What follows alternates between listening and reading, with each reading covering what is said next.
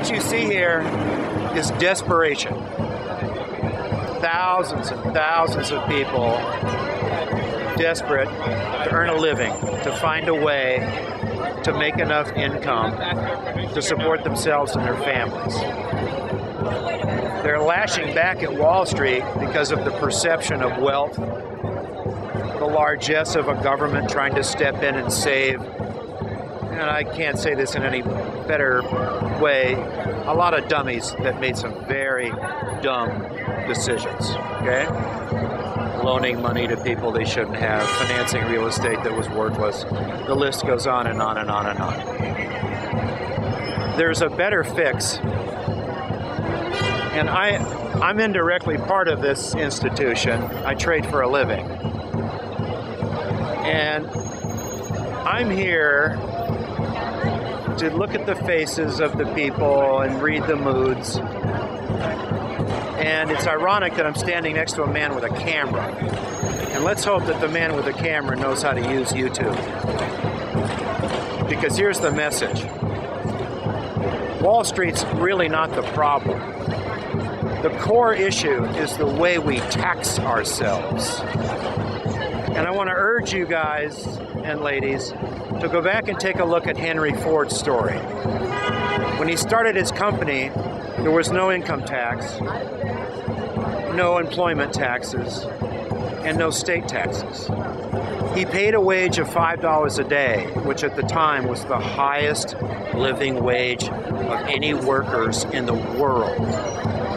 Today, that equivalent wage is based on the value of gold $2,500 a, a week.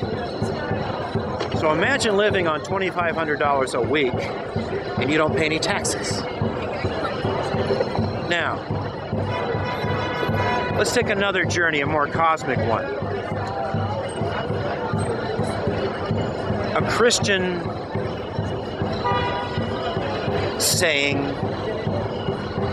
tablet from the mountain, whatever you want to call it. Give 10% of the harvest unto the Lord. That was not about churches. That was cosmic taxation advice. So, folks, imagine this day. You don't pay any state tax. You don't pay any federal taxes. You don't pay county taxes. You don't pay city taxes. The only taxes you pay are based on consumption. And guess what? When Warren Buffett buys a $20 billion company, he pays a 10% consumption tax. Now, where does it go?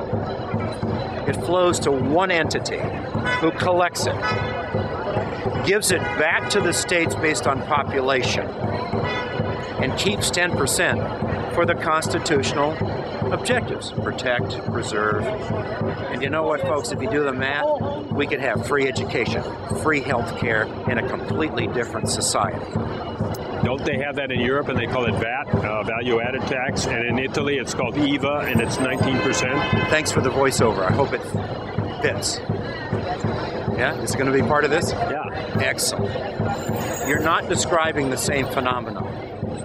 A VAT tax is in addition to other forms of taxation. 10% of the harvest unto the Lord.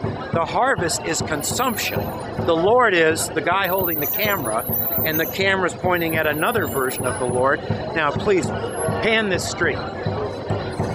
That's the rest of the Lord. World's churches assumed it was to start a church. Wrong. It's cosmic taxation advice. One tax, consumption. All levels of the all, all levels of the economy.